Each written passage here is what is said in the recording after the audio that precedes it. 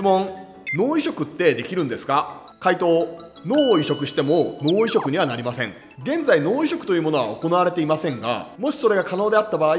どのように行われるのか説明します。移植には臓器を受け取る側のレシピエントと臓器を提供する側のドナーが存在します。通常移植を受けるというとこのレシピエントが臓器を受け取って治療を受けることを指します。脳を移植する場合ドナーは脳が正常な人です。そしてレシピエントは脳が正常に働いていない患者さんになります。これでドナーの脳をレシピエントの体に移植することで脳移植は完成します。しかしながら人間の意識は脳に属するため脳を移植されたレシピエントの体はドナーの脳に支配されることになります。これはレシピエントが脳移植を受けたことではなくドナーが体移植を受けたことになります。そのため仮に技術的に脳の移植が可能になったとしても脳移植というものは存在せず体移植という表現になると思います。その他の質問はコメントへ。